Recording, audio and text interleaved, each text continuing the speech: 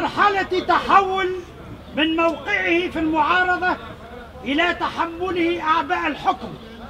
تفرض عليه إدخال إصلاحات هيكلية وسياسية جذرية. مش خساوة نقول سيترا خساوة سيترا صحيح وقصدونا صحيح سيدونا لحد سيتنا إن المكتب التنفيذي لحركة نداء تونس الذي اكتسب شرعية وظيفية بإشرافه على قيادة المرحلة الصعبة التي مرت بها البلاد لهو المؤهل لوضع أسس الهيكلة الوقتية للحزب. تبرعوا أنتوا شكون؟ هو؟ يركبوا فيه الحزب ولا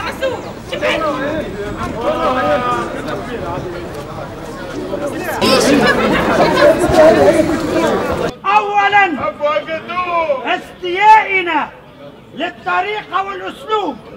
الذي تم على أساسه التفاوض. الحزب اللي إحنا ضحينا على خاطره ونجحنا ونجحناه وضحينا بالغالي والرخيص. وفي الآخر الحزب هذا اللي كان يقوده الباجي قايد السبسي وكان عنده هيبة وكانت عنده عنده تمشي. نشوفوا فيه الحزب تو كانوا نجح. الحزب هكا وقفنا. إحنا انتخبنا. إحنا أول حاجة ضحينا على تونس. وفي الثاني انتخبنا نداء تونس على خاطر تونس. ما نستناوش في مقابل؟ ثم ثم ناس جات انتخبتك خويا مش خاطر تحبك راهو خاطر تكره ناس اخرين راهو جاوا انتخبوك هذوكم الناس هذوكم. يجب تخلق لهم أرضية يجب تستخدمهم تعيط لهم يجب تشكرهم يجب تأطرهم خمس سنين جايين. إحنا تو ما حاجناش باش ناكلوا إحنا. إحنا باش ناكلوا الناس الاخرين. بالعكس إحنا نوريو اللي نداء تونس نضحيو على الناس الاخرين. أنا نوكل الناس الاخرين وما يسالش خمس سنين جايين ناكل أنا ما يسالش اما نضحيو الناس الكل. ثم ناس من تو تحب تاكل من تو اخويا وظهرت النوايا نتاعها مش أنا قلتها راه. هم في تلابسهم واحدهم الكل يحبوا يحبوا من تو يبداو ياكلوا 2012 جيت هنا وأسست الحزب هنا وأسسناه وانتخبنا انتخ... عملنا انتخابات لبرا تعينت فيها كاتب عام وتعيننا ناس جدد وتعيننا كذا وعملنا 20 اجتماع لبرا من من 2012 وإحنا نجتمعوا 13 14 معناتها في الأخر الحوايج القرارات الباقيين ياخذوا فيها نداء تونس في الخارج بالنسبة للجالية التونسية ما عندها حتى علاقة باللي نتفاهموا فيه. on dirait صور متحركة نتفاهموا على حاجة من بعد جي تخرج لك حاجة أخرى. نتفاهموا على قرار ولا على اجتماع من بعد تخرج. ما ماناش فما سي عبد الرؤوف الخماسي. نسميه بالاسم أنا لا ما عندي حتى مشكلة معه. هو جماعة يجتمعوا وياخذوا قرارات ما نعرفش كيفاش. on dirait عندهم شهاده ملكيه في الحزب هذايا وأنتم راكم صور متحركة. إحنا صور متحركة موجودين في الحزب. ما عندناش حتى وزن. مالكش محسوب complètement et totalement ماكش أنا. ندعو إلى تفعيل هياكل الحزب يا خويا لا لا نعملوا اجتماعات لا شنو؟ نستنى منه؟ نستنى منه يسمعني يا خويا ما همش يسمعوا فينا يا سيدي خويا ما فما شكون ما نعرفش القرارات ياخذوا فيها ما نعرفش. التأكيد على تفعيل مقترح المكتب التنفيذي القاضي ببعث مكتب سياسي يكون في مستوى الرهانات المستقبلية.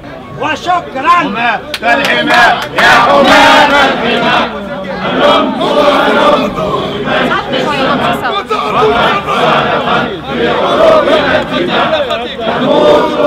استنوا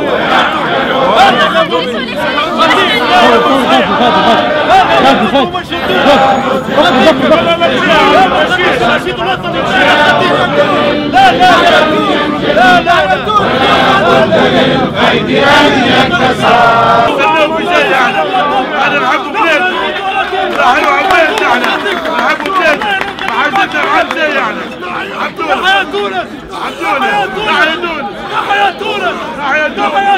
هذوما سيدي très bon très bonne chose هذوما اللي ارساء الديمقراطية. طلبات في في في محلها. لأن إحنا حزب ديمقراطي ويلزمنا نبعدوا على التعيينات ونلتجيو للانتخابات. حكومة النهضة وسط الحكومة. إحنا ما ما ما ماناش طالبين باش يكونوا كلهم من نداء تونس وسط الحكومة. مش هذا ال- الغاية. إحنا نحبوا في ال- الد- الديوان السياسي اللي يحبوا يعملوه عينوا فيه أشخاص. إحنا نحبوهم في قضية عينوا يقع انتخابهم. ونقولوا له ميرسي يا سي الباجي إنك أنت وصلت للحكم والشباب قاعد هكايا اللي يساندك والحزب هذاك ما طلعناه باش نهبطوه point final